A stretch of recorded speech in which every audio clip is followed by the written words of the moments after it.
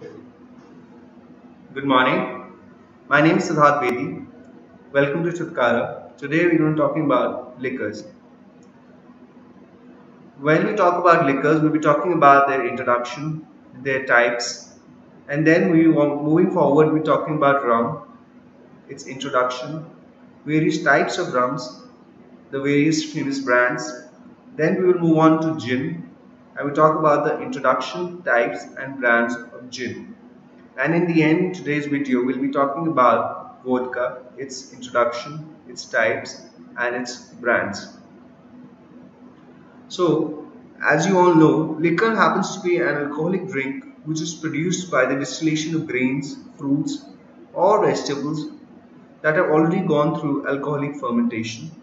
The origin of the word liquor was made from a Latin word called liquor, which means to be fluid. In the photograph below, you can see various kinds of liquors which are famous in the market. Liquors are made by the method of distillation, uh, which we had discussed earlier. There are two basic methods, pot still and patent still method. Then if we talk about the types of liquors, we have fermented in which we have wines which are made from grapes. Then we have beer which is made from fruit grains then pear and cider, which are apple-based, uh, fruit-based brandies, which are made from fruits. Then in miscellaneous we have mead.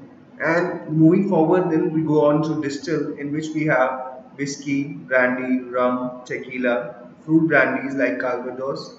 And in compounded and flavored spirits, we have gin, liqueurs, and bitters.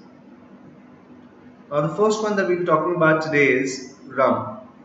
So rum, it happens to be a very famous brand, uh, brand in India which was named by, by Old Monk, which is very old and very traditional. Rum is made by the distillation of fermented sugarcane, which is also known as molasses or concentrated sugarcane juice. Rum cannot be less than 80% proof. Proof happens to be that basic terminology by which we determine the alcoholic content present in the bottle. It is mentioned on the each bottle made and it is also an indication of how much alcoholic content the bottle has. The principal areas of rum production are located in Jamaica, Barbados, Guyana and Cuba. Cuban rums are world famous. Then moving forward, classification. Rums, they are usually light bodied. Then we have golden rums, also known as amber rums, which are medium bodied. Then dark rums, which are traditionally rich, caramel dominated rums.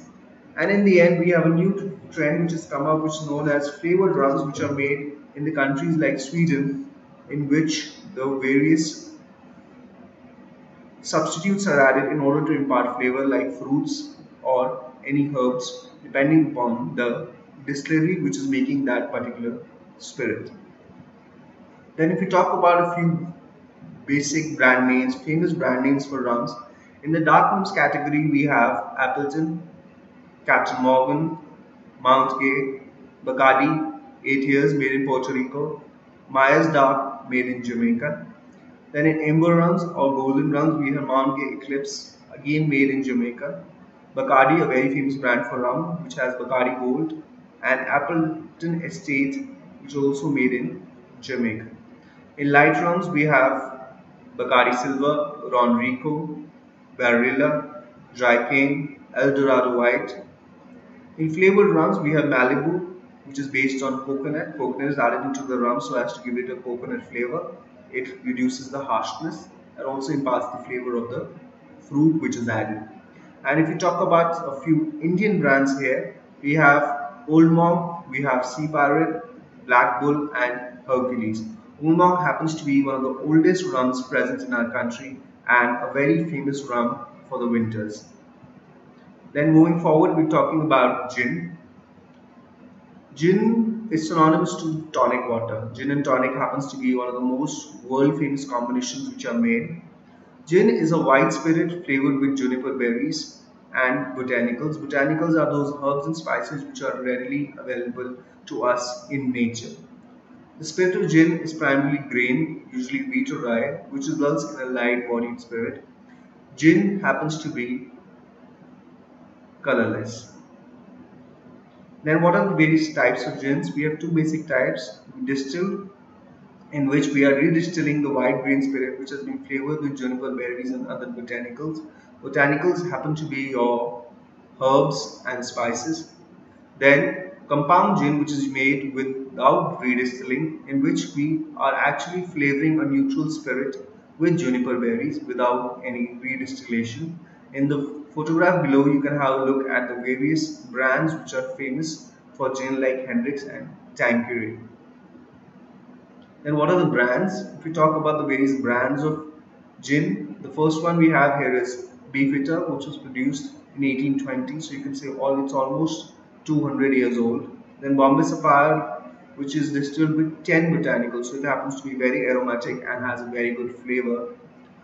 Then we have Booth's, which was produced by Sir Felix Booth in 1790.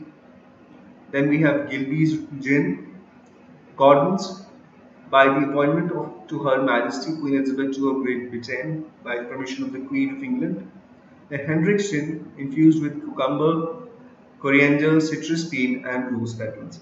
A few of the brands which I mentioned, you can see the photographs also here. We have Bombay Sapphire in blue. Then beyond on the top we have Beefeater then we have Gordon's, a few basic brands of gin which are famous worldwide. Then moving forward, the national drink of Russia, vodka. This happens to be a colorless liquid which contains purified ethanol and is one of the most consumed spirit beverages in the world. The word vodka is derived from the word root of the Slavic word voda which means water or tiny water. This is actually a derivation of water only, which is made from a word from the Slavic language. Then vodka can be distilled from many different grains like rye, wheat, potatoes, sugar, molasses and corn. But we usually use potatoes. Then you can see a few famous brands here like Skyy, Vodka, Ciroc, Smirnoff, Grey Goose. Then we have Ketel One, we have Tito's. So these are a few brands as well.